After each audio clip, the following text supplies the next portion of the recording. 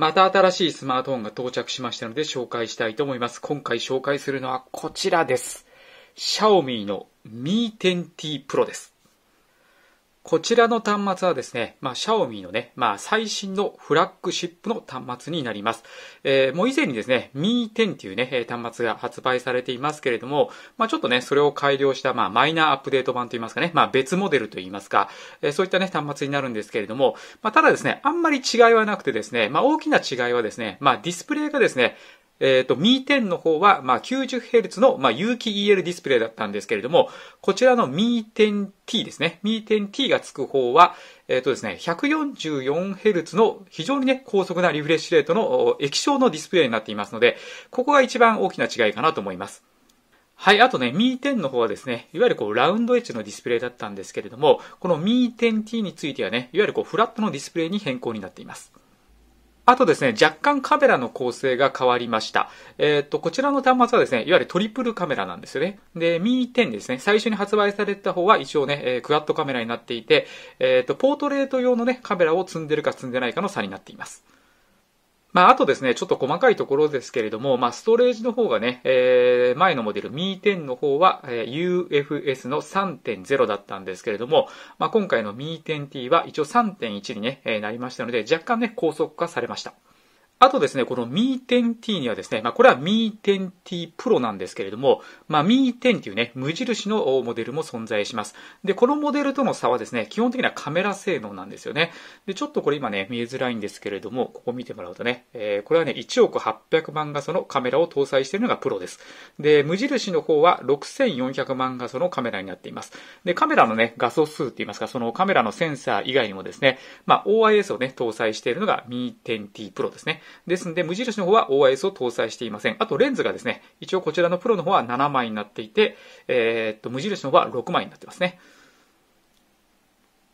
このですね、スナップドラゴン865を搭載した、まあ、シャオミのね、フラッグシップモデルが、あ今ね、どのぐらいの価格で販売されているかと言いますと、まあ、アリエクスプレスの方で、まあ、8ギガの1ニッパーのモデルで、え599ドルでセール価格になってましたね。まあ、ですんで、6万4000円ぐらいですかね。まあ、ただね、今度ね、あの、ブラックフライデーのセールがあって、まあ、それでなんかクーポン使うと、5万円台後半ぐらいまで持っていけるのかなという感じなんですけれども、まあ、ただやっぱね、アリエクスプレスのセールのクーポンって、まあ、前も何回も言ってますけども、ちょっとなかなかね、本当に使えるかどうかわかんない。まあ、ちゃんとね、その価格で購入できるかどうかっていうのはちょっとわからないので、まあ、だから価格としては5万円台後半から6万円台の前半ぐらいの価格ではないかなと思います。まあ、シャオミのね、端末で POCO F2 Pro っていうめちゃくちゃコストパフォーマンスのね、高い端末があるので、それと比較してしまうと、まあ、コストパフォーマンスだけで言うと、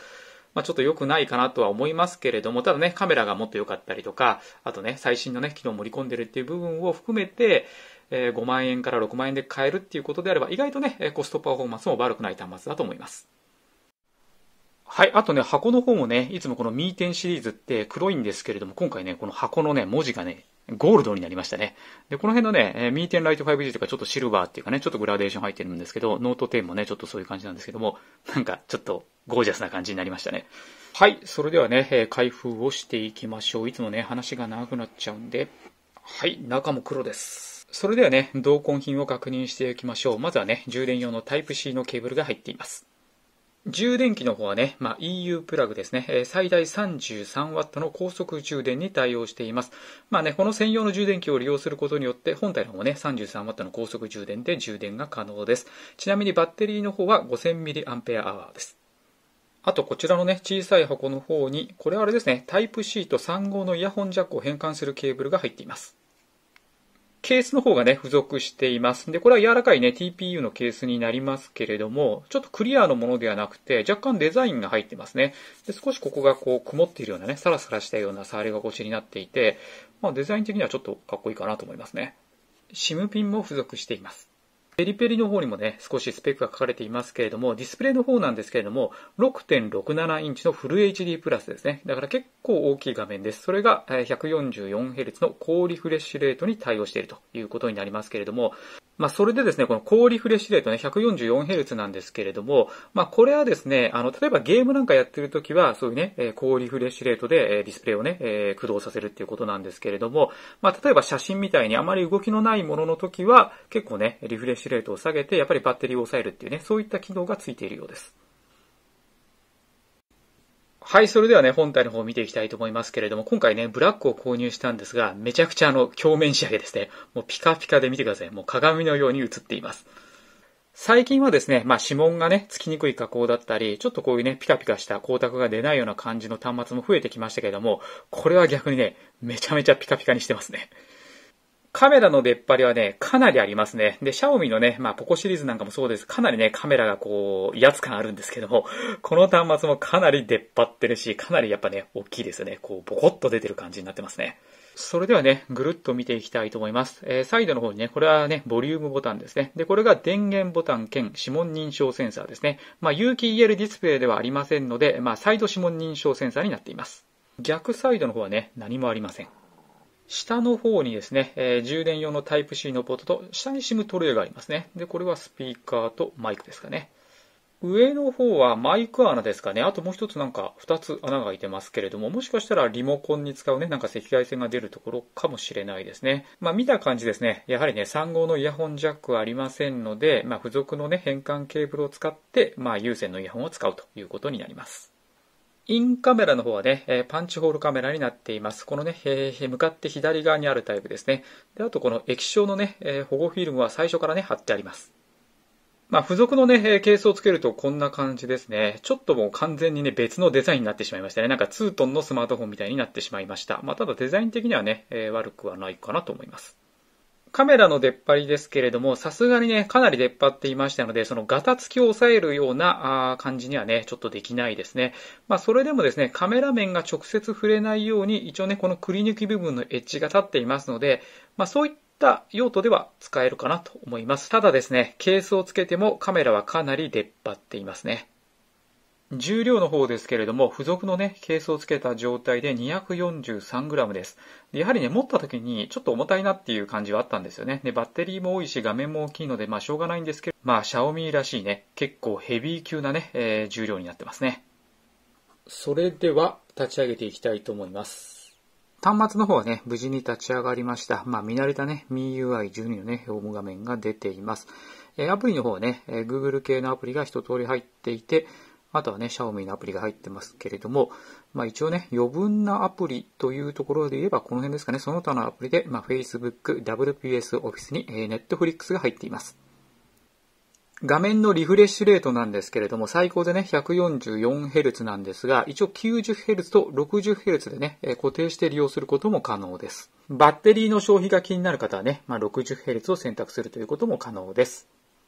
それではですね、まあ、144Hz の、まあ、高リフレッシュレートにね、対応しているということなので、ちょっと見ていきたいと思いますけれども、えー、向かって右側がね、えー、Mi 10T Pro ですね。こちら側はですね、まあ、弓デジの Bison というね、まあ、普通のね、スマートフォンになりますので、まあ、60Hz だと思うんですけれども、まあ、ちょっとね、見比べてみたいと思います。あまあ、肉眼で見ればね、間違いなくね、ヌルヌルですね。これはもう明らかですね。ただちょっと映像ではね、わからないかなと思います。まあ一応スローモーションで撮ってみましょうか。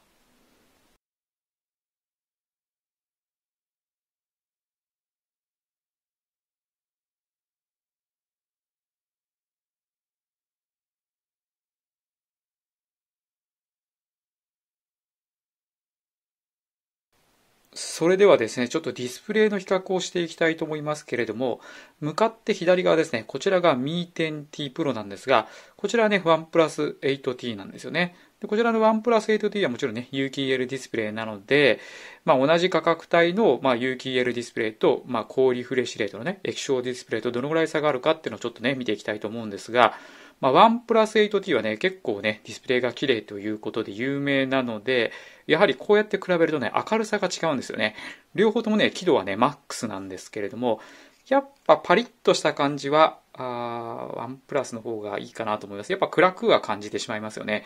まあ、ただ、こちら側だけで見てればそんなに暗くは感じないんですけれども、まあ、非常にワンプラスのね、ディスプレイが明るいっていうのもあると思いますけれども、やっぱり見た感じに差があるのはわかりますよね。それではちょっとね、視野角なんかもちょっと見ていきたいと思いますけれども、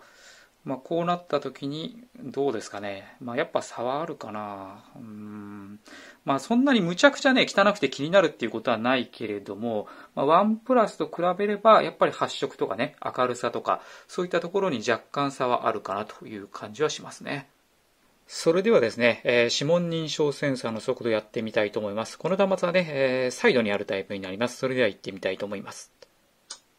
はい、こんな感じですね。特に問題はないと思います。結構早いと思いますね。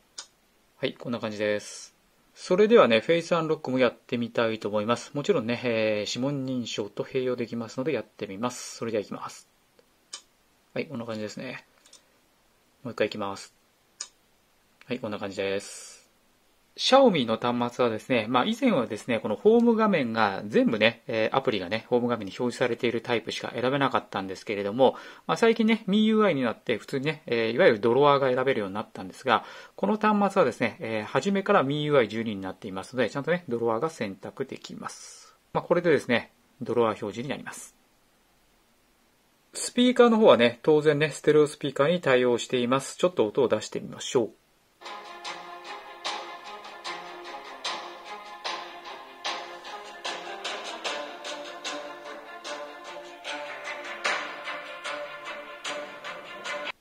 はい、ちゃんとね、こちら側とね、こちら側から音が出ています。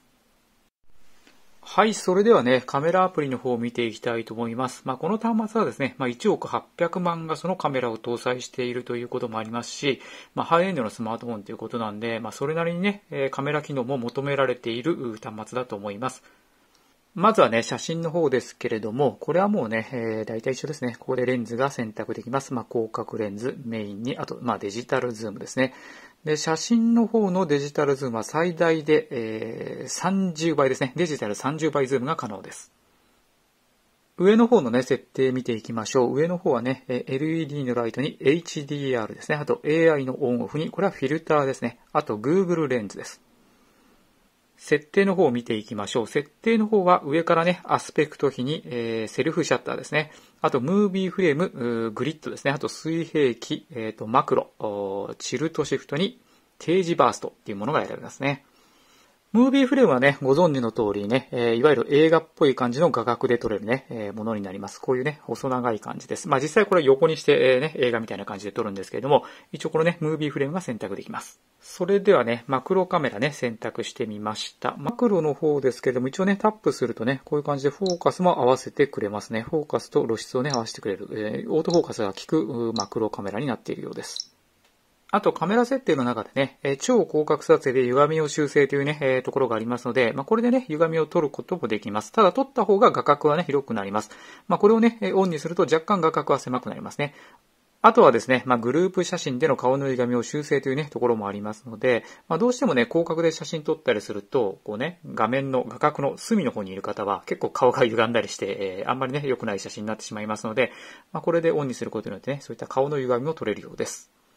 それではですね、動画撮影のも見ていきたいと思います。えっ、と、レンズの切り替えできますね。ですので、広角レンズでも動画の撮影が可能です。えっ、と、一応デジタルズームが可能ですね。ただですね、これやはりね、動画撮影してしまうと、広角レンズに戻ったりすることはできないですね。あくまでも各レンズでのデジタルズームだけに対応しています。えちなみにね、メインの方では、えデジタルズーム最大6倍ですね。それではね、上の設定見ていきましょう。これはね、LED のライトですね。で、ここにね、スーパー手ブレ補正ですね。より手ブレ補正が効くモードがここで選択できます。えっ、と、あと 8K 撮影できますね。8K 撮影、AI8K って書いてありますね。8K の動画が撮影が可能です。あと、これはフィルターですね。で、あと設定見ていきましょう。設定の方を見るとですね、一応ですね、4K の60フレームまで撮影が可能ですね。もちろんフル HD の60フレームも撮影が可能です。で、こちらでもですね、ムービーフレームと、まあ、グリッド線なんかをね、えー、設定することが可能です。あと、マクロ撮影できますね。ですので、えー、マクロ動画のね、撮影が可能ですね。この辺は結構いいですよね。はい。マクロレンズを使った動画撮影も可能です。あとね、設定の方を見ていきますけれども、シャオミの端末はね、えー、手ブレ補正のオンオフが可能です。リアルミーの端末ですね。この手ブレ補正のオンオフがないんですけれども、えー、シャオミの端末は大体オンオフ可能ですね。はい、8K 撮影なんですけれども、フレームレートはですね、24フレームと30フレームが選択できます。それでは下の撮影モードですね。えっ、と、動画と写真以外にはポートレートモードですね。ただこの端末は、いわゆるボケ撮影のカメラは搭載していません。であと、もっと見るの中に、まあ、夜景と、まあ、1億800万画素で撮影するモードですね。あと、ショートビデオ、パノラマ、ドキュメント、Vlog にスローモーションありますね。タイムラプス。あとこれ前後っていうのがね、いわゆるこうデュアルビデオといって、まあ、アウトカメラとインカメラを同時に撮影する機能ですね。あと長時間録音ありますね。あとクローン撮影があります。まあ、このクローン撮影はね、まあ、ちょっとお遊び機能なんですけど、また機会があったらやってみたいと思います。はい。あとね、プロモードがあるんですけれども、まあ、これはですね、他の端末にもありますけれども、まあ、ホワイトバランスとかね、シャッタースピードとか ISO 感度をね、自分で設定して、えー、撮影するモードになります。まあ、いわゆるデジカメみたいにね、使う時のお撮影モードですね。で、シャオミの端末の場合は、このね、え、プロモードがなんとね、動画撮影時にも利用できるんですね。だから動画撮影でもホワイトバランスとかシャッタースピードとかね、ISO 感度を変更して、え、撮影することが可能です。プロモードの写真撮影モードではね、ロー撮影が可能になります。同様にですね、プロモードのね、動画撮影の時にはね、ログ撮影が可能です。で、このログ撮影っていうのはね、ちょっとあまり聞き慣れないと思いますけれども、ただ他の端末ではなかなか撮れないんですよね。で、私も正直これ分かってないんですけども、まあ、いわゆる写真撮影モードの RAW 撮影みたいな感じで、まあ、非常に映像に凝った方が、まあ、これで録画しておくとですね、まあ、なんかね、修正しやすかったりするらしいです。あの、はっきり分からないんですけども、ただね、他の端末にはやっぱない機能なので、まあ、非常にね、映像にこだわる方にとってはありがたい機能になるかもしれません。まあ、あとですね、このプロっぽい機能としてはね、このフォーカスピーキングっていうのとね、露出検証というのがね、あるんですけれども、まあ、これちょっとね、フォーカスの方してみましょうか。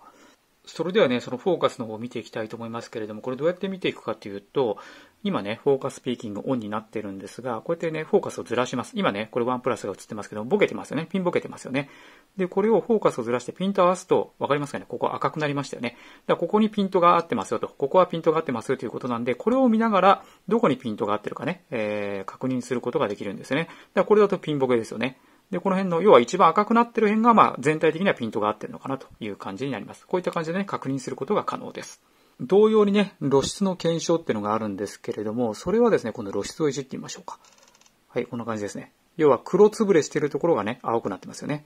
で、同じようにですね、えー、こう露出を上げてくると白飛びしますよね。で、白飛びしたところはこの赤くなってるんですよね。ですんで、これ白飛びとかね、黒つぶれを確認することができる機能になります。プロっぽいですよね。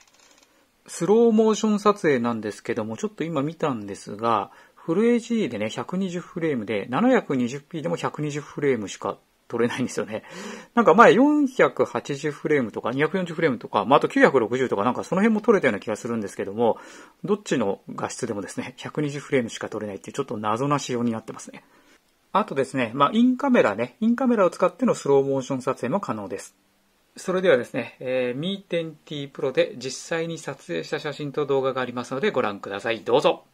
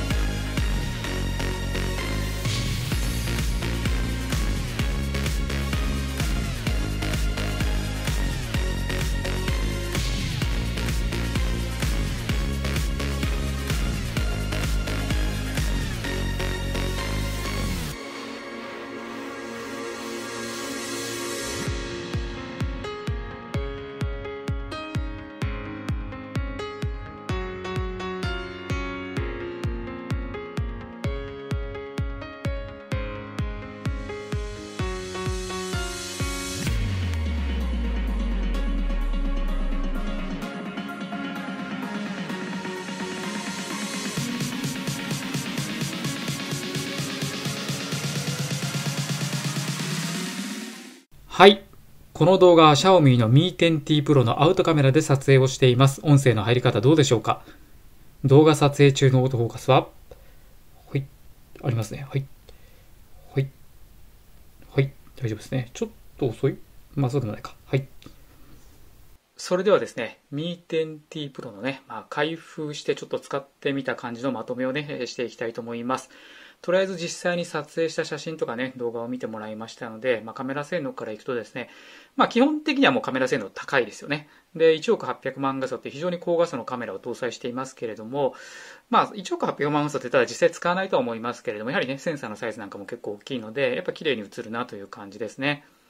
で、基本的にそんなに気になるところは本当にないんですけれども、ただですね、動画撮影時のね、60フレームの撮影ですね。まあ、フル HD もそうですし、まあ、4K の60フレームもそうですし、あとね、8K 撮影もそうなんですけれども、ちょっとね、手ブレ補正は多分効いていないんではないかなと思いますので、やはりね、ハイエンドのスマートフォンだと、だいたい60フレームでもね、手ブレ補正が効くものが多いんですよね。まあ、そういう部分で言うと、ちょっとカメラ機能を売りにしてる割にはね、60フレームの手ブレ補正が、まあ、効かない、あるいはほぼ効いてないっていう状況なのは、ちょっとね、残念かなと思いますね。まあ、逆にですね、30フレームの方は非常に綺麗に効きますので、まあ、この辺はね、他のね、シャオミの端末もそうですけども、結構手ブレ補正のね、性能がいいので、30フレームだったら本当にね、綺麗に手ブレ補正が効きます。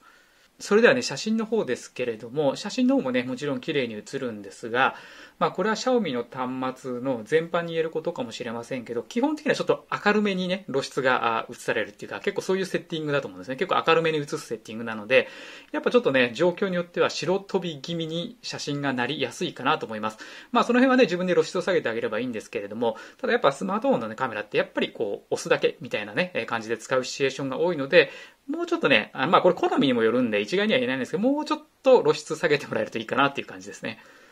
あとはですね、ちょっと今回は紹介しきれなかったんですけれども、まあ、カメラアプリがね、非常に充実していまして、えー、カメラの撮影モードなんかもすごくたくさんあるんですよね。で、まあ、ちょっと遊びの機能にはなりますけれども、まあ、クローン撮影であるとか、まあ、デュアルビデオとかね、あと先ほどちょっと紹介しましたけれども、まあ、プロモードとかね、ああいったところもかなり細かくセッティングができて、やはりね、この端末っていうのは、シャオミの端末がみんな言えるんですけれども、その写真が綺麗に写るとかね、動画が綺麗に写るっていうところもありますけれども、やっぱりその撮影自体を楽しむめるカメラアプリになってますので、やっぱりカメラ好き、写真好き、撮影自体を楽しめる方にはお勧めできる端末だと思います。